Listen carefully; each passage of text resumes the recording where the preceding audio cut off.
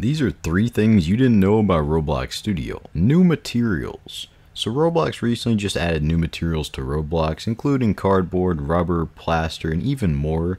Now this is revolutionary when it comes to building, as these materials provide a much easier way to add realism to builds without importing custom textures. And it's super easy to use these new materials, and you can find them inside of the brand new material picker that just came out recently, I think it was like two or so weeks ago, and it's pretty much like the color picker, but you guessed it, it's for materials instead. Leave a comment saying what your favorite out of the new materials is. I personally like the cardboard material, but I think the rubber one's pretty cool as well, so let me know. The Developer Console.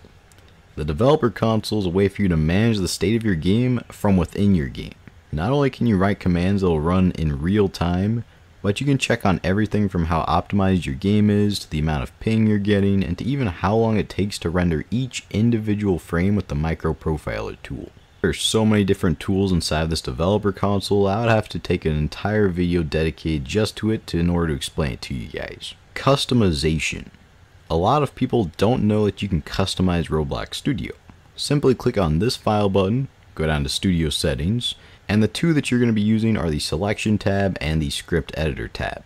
In the selection tab, you can change the various different visuals of certain features such as selection and dragging, and inside of the script editor tab, you can even go so far as to change the font and color of the text. You can also do a few other things, but those ones aren't as cool in my opinion.